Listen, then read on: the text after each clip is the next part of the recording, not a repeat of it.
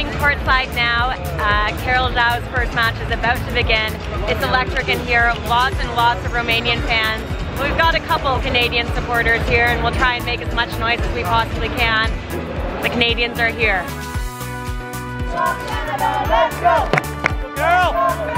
Let's go!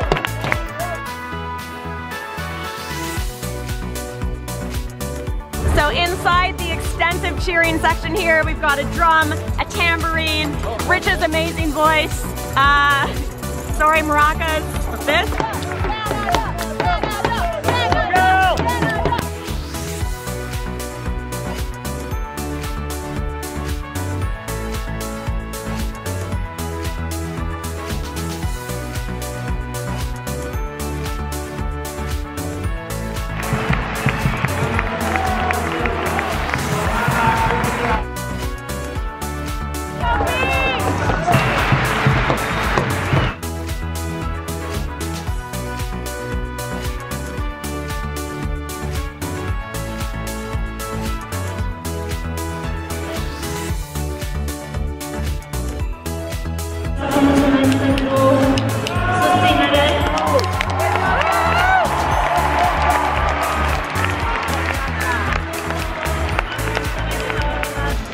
Well, a tough end to today for Team Canada, heading into Sunday's action down 2-0.